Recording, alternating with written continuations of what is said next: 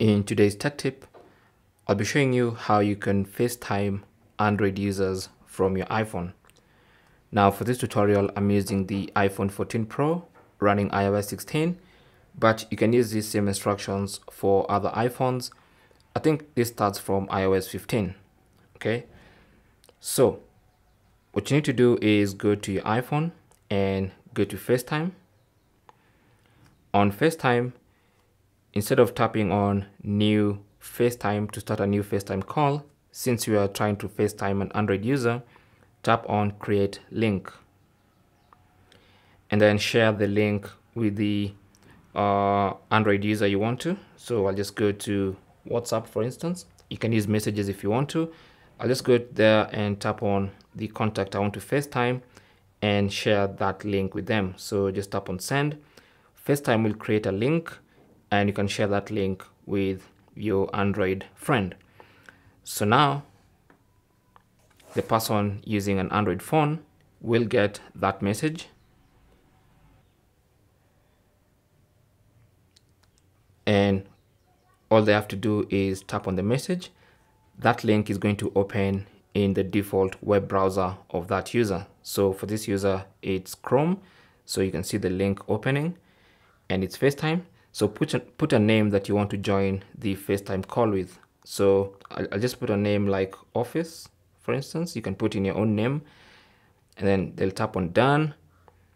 And then it's gonna open FaceTime as you can see on the browser. And then all they need to do is request to join the FaceTime call. So they'll tap on join.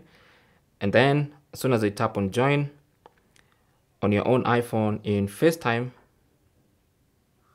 you should see FaceTime uh, link. Someone is requesting to join. Tap on that. Now you yourself, you have to join first. So first of all, join the call. And once you join, you should see at the top there, there's one person waiting to join. Okay. So just tap on that and you can see that person waiting to join is called office.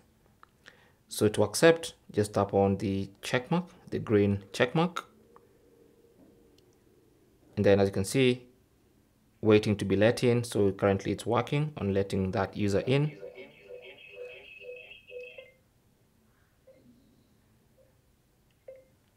And now as you can see the FaceTime call has been connected. So that's basically how you can FaceTime with an Android user okay? Now I've just muted the microphones just to stop that interference but that's basically how to uh, mute I mean, that's how to FaceTime an Android user from your iPhone. So the Android user can only leave this FaceTime call. Only the person who initiated the FaceTime call, which is the iPhone user, can end that FaceTime call. All you can do on the Android is leave.